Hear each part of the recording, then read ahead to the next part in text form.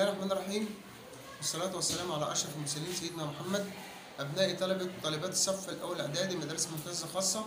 معكم مستر أشرف الجاني النهاردة أولاد إن شاء الله هنتكلم عن درس جديد في قصة عقبة بن نافع.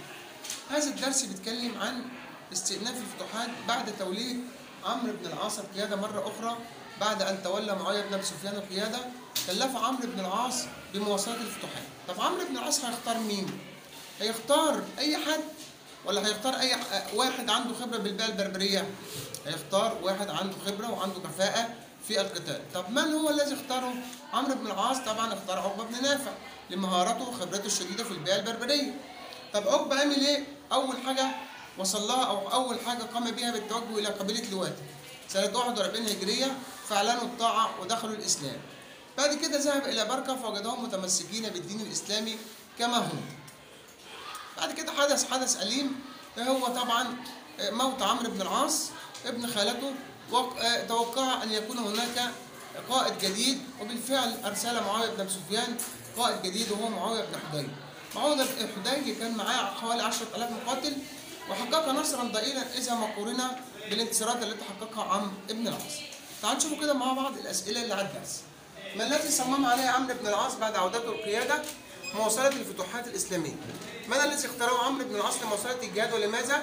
اختار عقبة بن نافع وذلك لمهارته وخبرته الحربية وخبرته الطويلة مع البربر وقتال الروم لماذا فرح عقبة بهذا التكليف؟ فرح ليه؟ أولا حبه الشديد للجهاد في سبيل الله حتى يخلص القبائل البربرية من الوثنية والجهالة ولكي ينشر الدين الإسلامي في كل مكان أهم حاجة طبعا ما أول عمل قام به عقبة؟ أول عمل قام به عقبة هو التوجه إلى قبيلة دواتة سنة 41 هجرية فأعلنوا الطاعة من جديد ودخلوا في الدين الإسلام مقتبتين راضين كيف وجد عقبة أهل بركة؟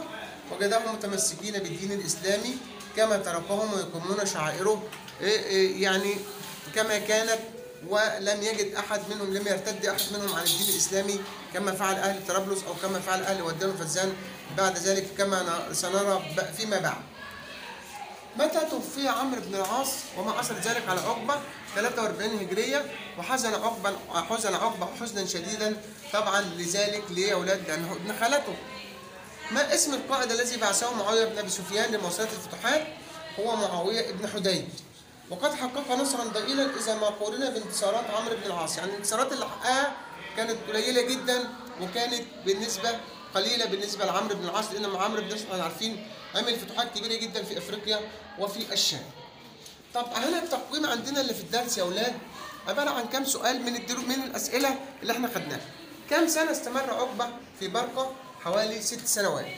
لماذا حزن عقبة بموت عمرو بن العاص؟ كلنا عارفينه طبعا. ليه حزن؟ لأنه ابن خالته وهو قائده الأعلى وهو الذي دربه على الجهاد في سبيل الله. لماذا اختار عمرو بن العاص عقبة؟ قلنا لمهارته الحربية وخبرته الطويلة في البيئة البربرية وليس لقرابته. ده يا أولاد ملخص الإيه؟ الدرس أو الدرس اللي إحنا اتكلمنا عنه آه الآن. بعد كده إن شاء الله هنتكلم عن ودان وفزان وهنتكلم عن الفتوحات التي قام بها عقبة في الساحل الشمالي وكان له يد بيضاء في نشر الإسلام في كل مكان. فكان القاده يا أولاد المسلمين كل همهم إن هم ينشروا الإسلام وليس حب الدنيا وليس آه، آه، آه، أدنى أو ليس دون ذلك. إن شاء الله هنكمل هيكون لنا لقاء قريب وأنا نقول وداعا وإن شاء الله أتمنى لكم مشاهدة طيبة والسلام عليكم ورحمة الله. كان معكم